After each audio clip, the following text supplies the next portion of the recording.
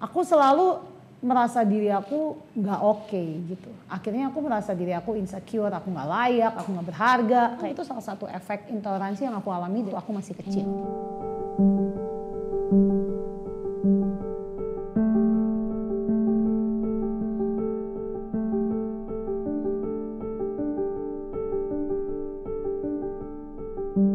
Ya, uh, hai, saya Noela. Uh, nama lengkap saya Noela Elizabeth Mikelia Auparai.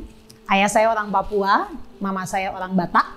Dan puji Tuhan tahun 2014 saya memenangkan ajang pencarian bakat, uh, sebut saja Indonesian Idol.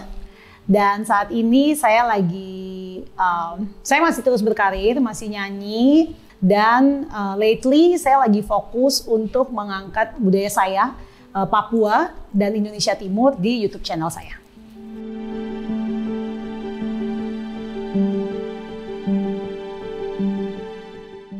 Saya adalah orang yang sangat bangga sama Indonesia Timur, sama Indonesia. Um, saya orang yang karena dari kecil mungkin selalu berpindah-pindah kota, saya SD di dua tempat yang berbeda, dua pulau yang berbeda, SMP di dua pulau yang berbeda, SMA juga beda lagi sekolahnya, kuliah sampai saat ini saya masih hidup berpindah-pindah. Sekarang saya sudah menetap, jadi uh, itu membuat saya menjadi orang yang mungkin jadinya hmm, supel, gampang-gampang banget masuk sama orang mana pun gitu ya karena dari kecil sudah melihat banyak perbedaan dalam hidup saya gitu. Dari kecil hidup dengan culture yang berbeda-beda. Saya selalu uh, menyebut diri saya adalah si bolang. Bocah petualang karena dari kecil selalu berpindah-pindah tempat dari satu kota ke satu lain dan puji Tuhan kayak dari Pulau Sumatera sampai Pulau Papua itu saya udah pernah injak semuanya.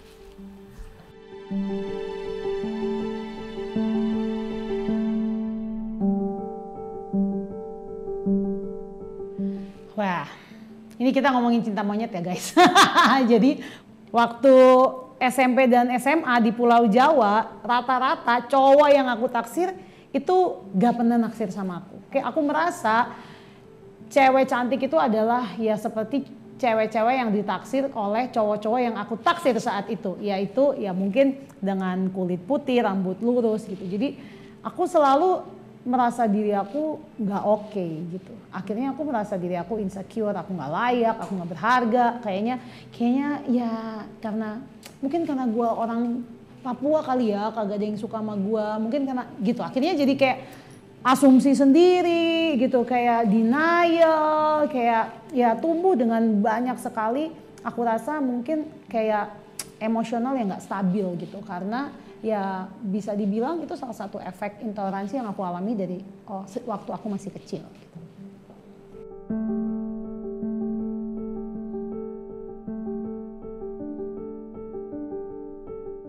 Dari Papua, pertama kali aku pindah ke Pulau Jawa yaitu ke Salatiga dengan uh, shock kebudayaan itu benar-benar membuat aku drop.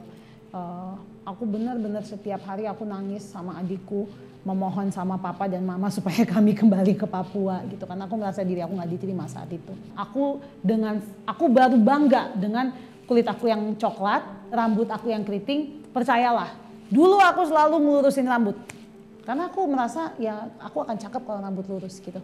Akhirnya udah berapa tahun ini aku baru gila ternyata banyak banget orang yang pengen rambut keriting gitu. Padahal aku punya, ini rambut asli aku gitu. Aku punya asli rambut asli keriting gitu. Banyak banget orang yang ke Bali untuk tanning, untuk biar kulitnya coklat. Aku sudah punya kulit coklat yang alami gitu. Akhirnya aku baru beberapa tahun ini kayak aku merasa kalau, oh ternyata cantik itu bukan didefinisikan oleh apa pun itu pandangan di luar sana. Tetapi ya bagaimana aku bisa menerima diri aku gitu. Bagaimana aku bisa merawat diri aku tanpa merubahnya gitu. Jadi uh, memang ada efeknya sih dan butuh waktu cukup lama untuk aku bisa menerima diriku lagi.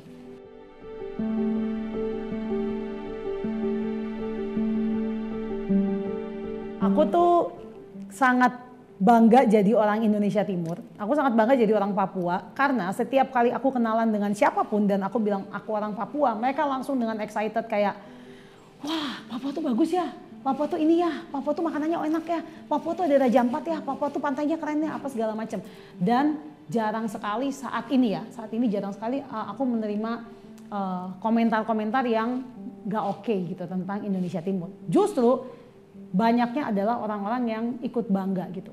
YouTube channel saya komentarnya banyak sekali orang di luar orang Indonesia Timur yang mereka bilang mereka sangat bangga sama Indonesia Timur. Bisa ada yang bilang Manado hadir, Batak hadir, Jawa hadir untuk kasih support, untuk kasih dukungan dan aku melihat ini adalah apa ya persaudaraan yang indah banget sebenarnya.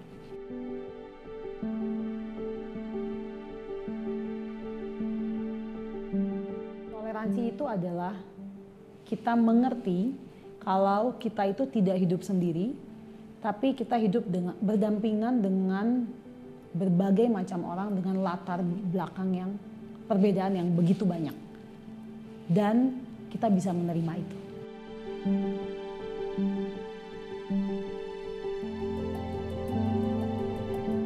Kalau kita tuh hidup dengan begitu banyak perbedaan. Warna kulit aja, tone aja, nih perempuan aja, foundation aja itu udah puluhan gitu. Jadi segitu banyaknya perbedaan gitu. Jadi uh, cara kita menghargai ya dengan menerima, menerima kalau banyak orang yang berbeda di sekeliling kita dan mengasihi mereka.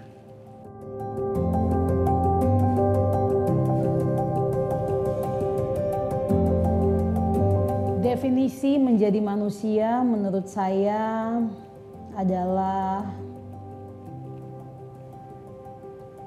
menjadi orang yang mempunyai dampak yang baik bagi orang lain.